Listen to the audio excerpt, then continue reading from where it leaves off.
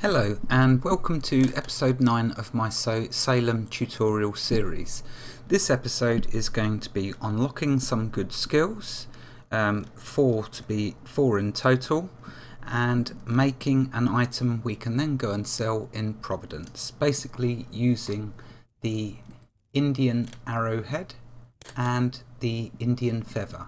But first of course we need to unlock a skill in order to make that item, which is an inspirational. So, without further ado, let's get started. Ah, first of all though, let's show you what I forgot to show you in the past episodes, which was two new movement movement skills we got after learning hiking and foraging. Do you remember previously that uh, when I learnt hiking, I looked in the adventure menu and didn't see anything. That was because, of course, I was being silly, which the game gamester often is. The new skills were un unlocked under the movement button. So when we click movement, you will notice that when we learnt hiking, we got this new one called climbing modes. If we left click, we will say, see then a skill called Afraid of Heights. Basically, it allows us to climb steeper hills. Um, but to be honest with you, I rarely use these climbing skills because I prefer to either terraform down the hill or walk around it. Um, I've not been in a situation yet where I've used that because it will drain your uh, humours. So anyway, the second skill that we unlocked, which was in the last episode, which is Forage. Now, again, I don't use this skill because your yellow bile and small amounts of your phlegm, which is your um, blue bile, your, your, your blue bar, I should say, they continually drain. So there's too much risk at such a low humour level too much risk of getting knocked out okay and I believe you will be knocked out if you if you use the skill and one of these gets to zero. Not worth the risk. So but it's opened this skill up and as you can see there forage significantly increases your chances of finding foraged items but also makes you move somewhat slower than normal. Forage costs yellow bile while active and small amounts of phlegm while you move. So it's saying we will find more stuff as we walk around. Uh, you know what? I find plenty of stuff without using this. Um, later on though, when we get our humours up higher, then we can try it out and take a good look at it. Notice we do have two other movement skills. One is run. Yes, I tried running away from a snake, but yes, it still managed to bite me and poison me and knock me out. So after that display of um, ineffectiveness, I don't bother with the run now. And wander as well, like it says, it slightly increases your chances of finding foraged items, but drains your blood and your phlegm. So anything that's going to continually drain my humours while they're so low is not advisable. So there we are though, that was the two that were unlocked that I missed to mention previously. But the Gamester does try to get, get it correct in the end. Okay, now we need to start learning some skills so our foraging gets better, as in more nuts when we forage bushes and trees. We have plenty of inspiration to burn and it would be a waste if I went to the bed um, without getting my inspiration. Let's bring it up down to 300,000. So let's engage you. Why is that, do you think? Why would it be a waste for me to go use that bed right now? Okay, you've had time to think about that? Yes, that's right. Because if I go to the bed, I'm going to sleep for probably, I won't be back online for at least minimum of eight hours it's going to regenerate back 100,000 in inspiration. So I may as well get it down to 300,000 so when I come back it will be back to 400,000. So that's what you will also get in the habit of doing. Or if you're not going to play for the day, log on for five minutes just to learn a load of whatever you want. Increase, either increase your proficiencies or learn some new skills. The choices are yours and they're all good, my friends. Okay, the skills we are going to learn are Indian tracking, which is the one that we can then use to make items that we can go and sell in Providence, which I will do at the end of this episode. But first, I need to um, show you some other skills that we're going to unlock. But first of all, let's unlock Indian tracking. Now, remember that I went through these and basically they didn't have faith and wisdom. I did have a hunch that this inspirational that we can make gave faith and wisdom, and it does, and we only need two. So let's show you how to make this because it is a fantastic inspirational. Go to the craft, go to inspirationals, go to toys, and there you will see the grass whistle. Left click, and you will see it needs hardly anything at all to make. One grass, one reed, which we have. So let's craft one. Okay, there we are. We now have two stacks. So we've got plenty. Okay, we'll keep that minimized, might make another one. Let's see how we get on. So now to learn Indian tracking, let's start chomping up, and studying I should say, these um, smooth stones. I think they are the best ones for us to do. If I remember correctly. Yeah, let's just use some. Mm. Okay, minus one. Oops, let's eat something.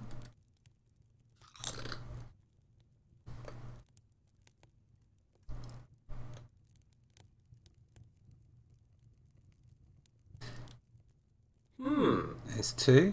So we've done flora and fauna. We've done arts and crafts. Uh, faith and wisdom we will do in a minute. Hunting and hide working's done. Mines and mountains is done. Sparks and embers is done. And nearly natural philosophy. We only need 60. Will we get that from this? No, so guess what? We'll chew another rock. Hmm. Or we'll study another one. There we go. Now, as all we need to do is eat some more food. Study the grass whistle. Notice you get a little sound when you do that. We need to study one more. And now we have Indian tracking unlocked. So we'll buy. Oh, I do love that sound, that little jingle. There we go. Now that we have Indian tracking, it not only affords us greater success when searching for plants and people, but we now can make a new inspirational, which is the Savage Charm. Why is this important? Because we can sell this in Providence, which we're going to do before I wrap up this episode. So anyway, let's create one. Let's we have one feather, we have many arrowheads. Let's craft. Okay, so here we go. And there we are. Now you can wear this. Um, why would you wear it? Because it will remind you of the proficiency points it's going to give you. But because it's so early in the day and we need money badly, we're just going to sell it. So there we go. Anyway, right, moving on then. We're going to learn some more skills. We will go and sell that at the end and I will show you how to get to Providence. So now that we've made that, we're going to now learn exploration. So if we look here, exploration will unlock the next skill in the tree that we need to get to where we want to go. Um, it will down here it tells us when we've learnt it, it will increases our chances of discovering items of interest in the new world and allows you to ascend steeper slopes than before. We will get another skill in the climbing modes. So remember at the moment there's only afraid of heights. Okay, let's do this. Now to do this we need 700 fauna and flora and fauna and 200 natural philosophy. So, yep, we're back to chewing rocks. So, two rocks and we'll be done. First though, let's eat some food. Yep, you do have to keep eating so you can see why it's important to keep cooking and foraging. So let's mm. study. Let's eat again. Let's study. Mm. And now let's get it.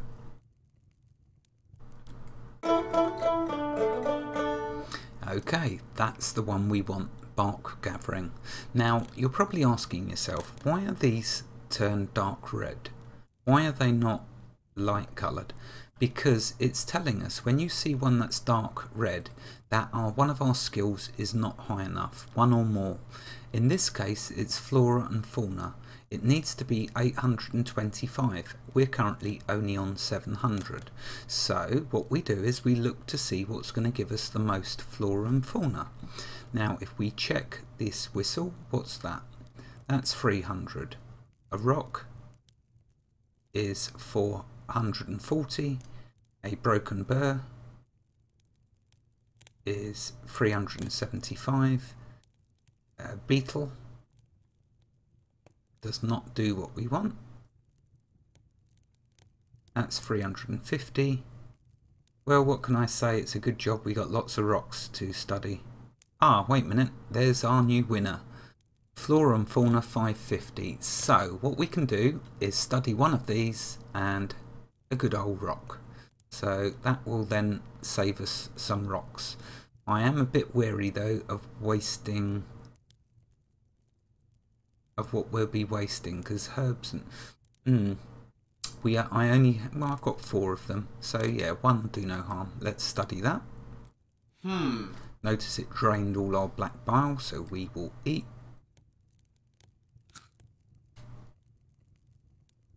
Wait for it to go back up.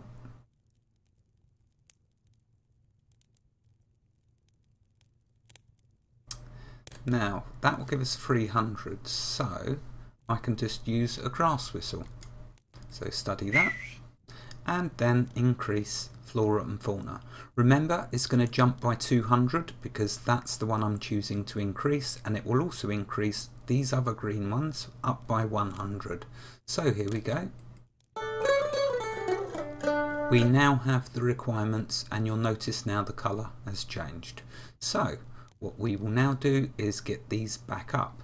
So what we will do is to study another one of these abandoned cobwebs. Mm. And that gives us 550. So if we study another grass whistle, that will give us 850, which is enough. Ah, if we had black bile. So let's eat. You see, these grass whistles are so useful, so easy to make and so handy study that. Right, now let's see, what are we short? Flora and fauna is enough. Herbs and sprouts. Ah, we might not have done that yet. 450. No, we have. Stocks and cultivars. 200. That's where we're slightly short. Let's have a look. Will the grass whistle do that? Yep, it will. So we study another one. We now have bark gathering. Now, bark gathering is going to unlock uh, a few new things for us, which are all good. One will be with that we can strip bark off of trees to make new items.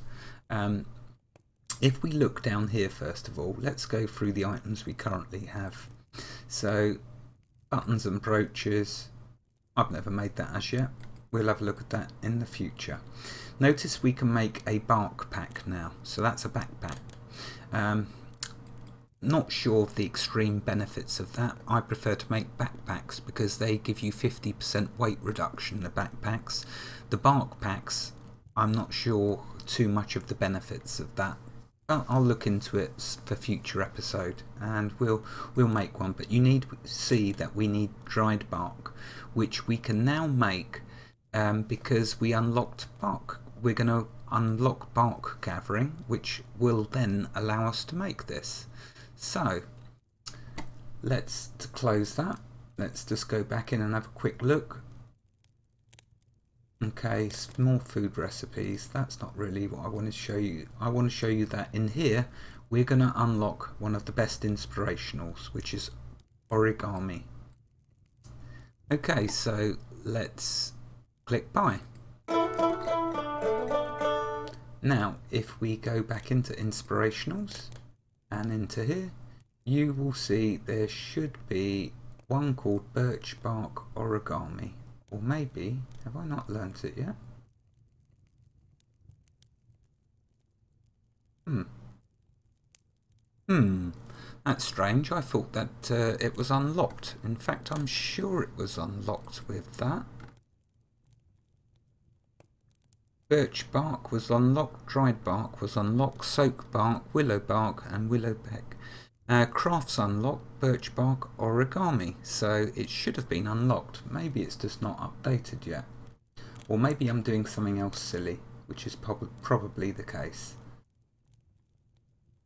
Uh, oh, wait a minute. Maybe it's under a different tree. No. I'm quite sure it should be where I've said there, toys. But it's not appearing yet. Oh well, doesn't matter. We can get back to that at a later date. There is a reason perhaps why it's missing. We can make birch bark cups, which we can drink, take sips from now, for when we make drinks later on in this episodes, in this series. So it looks like that's all that's been opened up to us so far.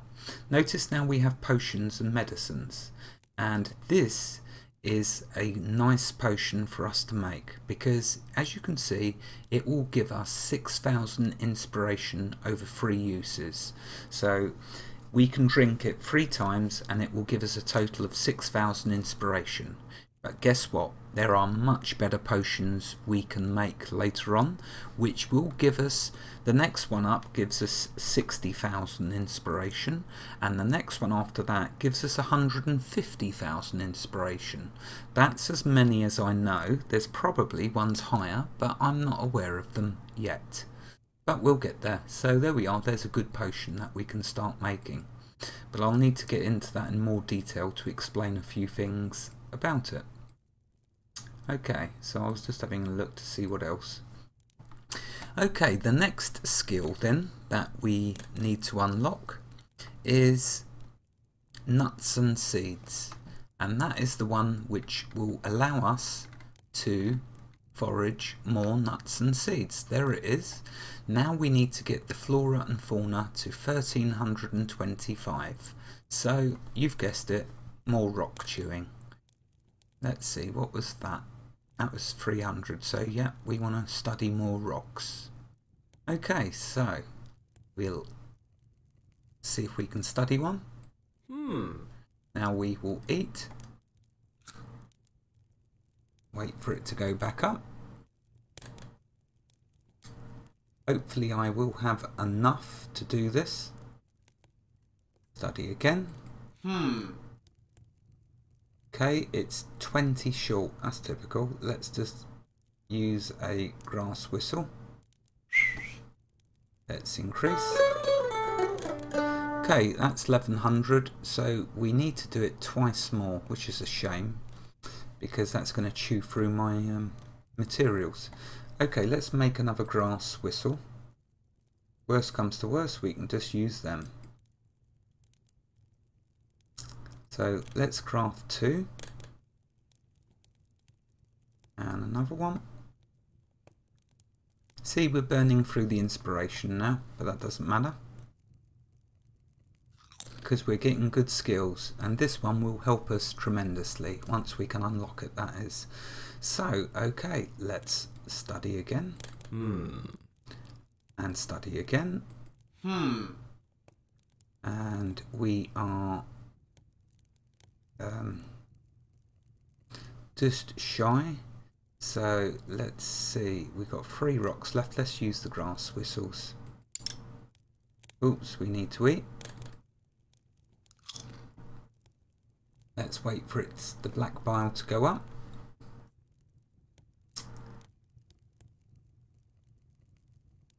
Okay, let's study again.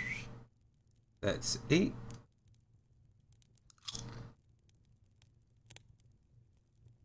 Okay, let's increase.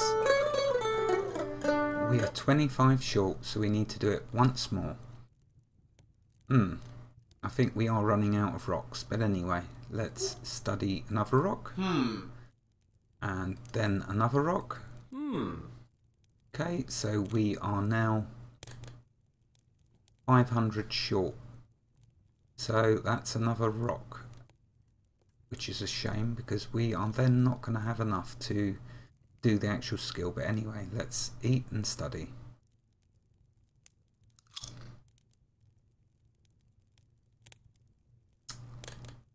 Yeah, so it's looking like we might be a bit shy of being able to get this. Okay, let's study this rock. Hmm. Let's increase. Okay, so the question is now, can we get it back up? Because now we're on grass whistles to get there.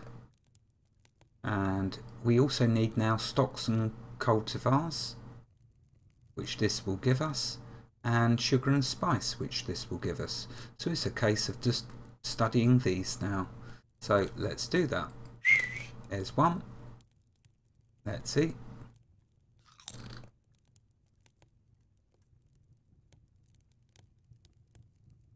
There's two.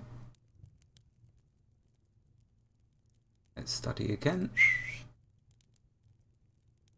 900. Let's do another one. But first, let's see.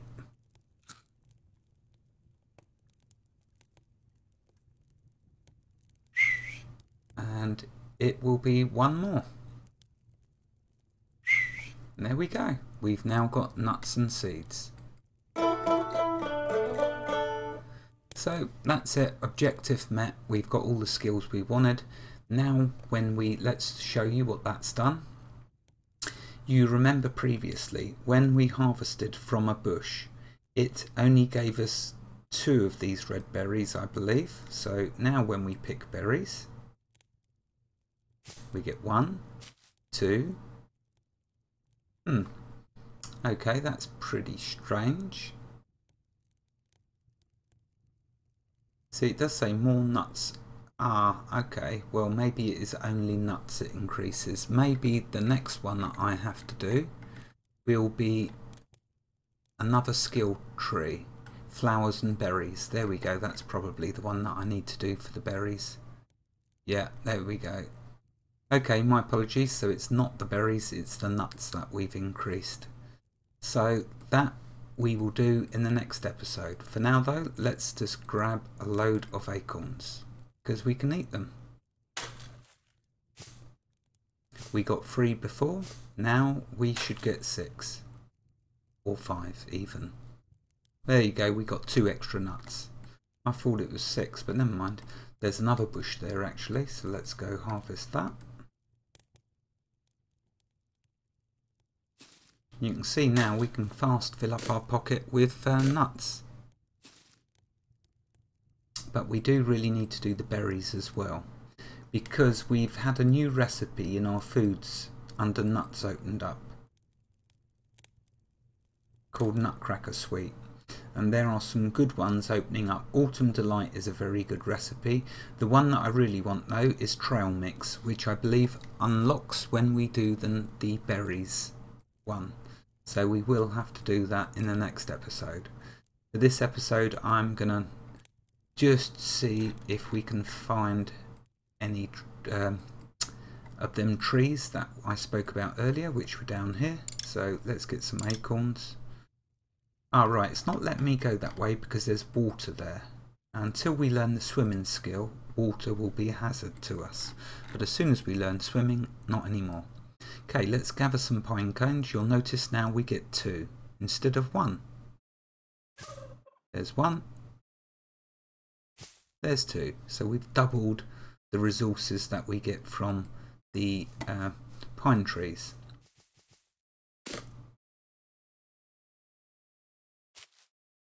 Which are always good to cook. And another good one is the hickory nuts. See, we get one, two, three, four, five. Five of them. So you do a few of them trees and you start to get a lot of nuts. which is good for cooking because then you've got more chance of getting lard, which we spoke about in a previous episode. Okay, right, so that's enough of the gathering. Let's now show you how we can go to Providence and sell some of these items to make our first bit of money from trading.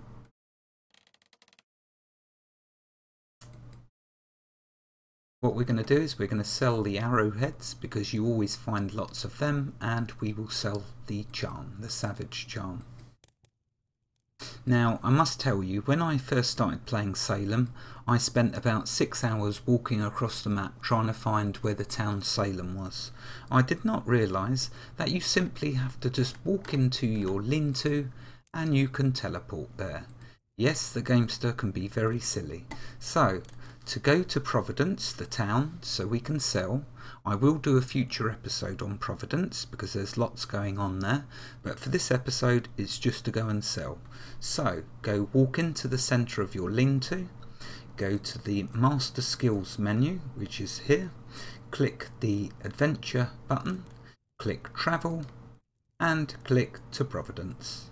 Providing you are not overweight and you are within your lean-to, it will start to have a timer and you will be off to Providence. Well, if nothing else you got good from this episode, it was certainly this. It'll save you walking for hours like I did. Yes, I know it's my own stupid fault because I probably didn't read properly, but hey, I was eager to play. Now it's going to play music here whether I've turned it off or not. So what I'll do is turn the sound right down because I, I want you to be able to hear me and not the music blaring over me. Okay, so here we are. Now, one thing I will mention is if there is anyone around you here coughing, stay away from them as they'll give you a disease and you will perma die if you don't deal with it. For now, we're just going to go over here to the stall you can recognise a stall by its white roof. Right click on the stall, left click sell, you get this icon of a cross, then left click on the items you want to sell. Watch our silver go up. So these are only worth 4, um, 2 silver, not much at all. The feathers are worth 12 silver, but the charm is worth 30 silver. Now bear in mind these charms are easy to make when you find the, the, materials of the feathers and the arrowheads. But look here we are, that's the one we really want, the bar of soap. That's worth 50 silver. So let's sell what we got. You'll see this pile of silver going up until we get a money purse, which will go there. We will have to carry it in our pocket. There we go, we've now got our first 45 silver pieces. So as you can see, it is not difficult to make money. Now if we right click on this white stall and click buy, you will see there is our writ of homesteading. It costs 150 silver, but like I say, we're going to get to 300 silver before we consider buying it. And that will protect our land. That's why we're desperately trying to get to 300 silver. Anyway, to get back to our lean-to, left click on the adventure button, left click travel, and left click home. And providing you're not overweight, it will take us back home. And then we will call it there for this episode. As you can see, we got a lot done. I mean, ideally I'd love to separate each episode to each new skill, but one, it would be so short an episode, two, there's so many skills I'd end up making a million episodes on Salem. I'm not saying that's a bad thing, but there's no point in watching one or two minute episodes now, is there? So there we are. That hopefully now should make you all happy, you know how to make money, you know how to go sell it. Wherever you are in the world, God bless you and keep every last one of you safe. Thank you for watching and have a fantastic day. Goodbye.